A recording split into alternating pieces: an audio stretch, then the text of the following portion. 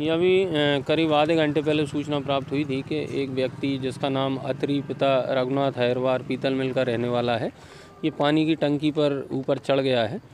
तो इसके लिए फिर थाना सिविल लाइन से पुलिस बल भेजकर ये मोहल्ले वासियों की मदद से यहाँ रेस्क्यू किया गया और उसको समझा बुझाकर सकुशल नीचे उतार लिया गया है। इसमें मोहल्ले वासियों में गौतम और इनके एक और साथी और पुलिस में एएसआई राजेश मिश्रा जी, सुनील गंदर और चाली मोबाइल के लोगों की विशेष भूमिका रही है और समस्त मोहल्लेवासियों का भी और आप मीडिया का भी हमें बहुत सहयोग मिला।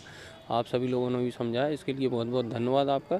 और उस व्यक्ति को सकुशल उतार के परिवारजनों के सुपुर्द कर दिया गया। एमपी की नब्स एमपी का हाल। मध्य प्रदेश की हर खबर एमपी न्यूज़ टीवी के साथ। लगातार खबरों के लिए सब्सक्राइब करें हमारा YouTube channel MP news TV latest update के लिए बेल आइकन दबाना जरा भी न भूलें।